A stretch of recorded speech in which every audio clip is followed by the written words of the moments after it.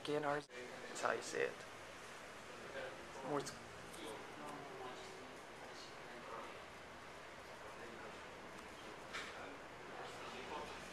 Exactly. That's like of the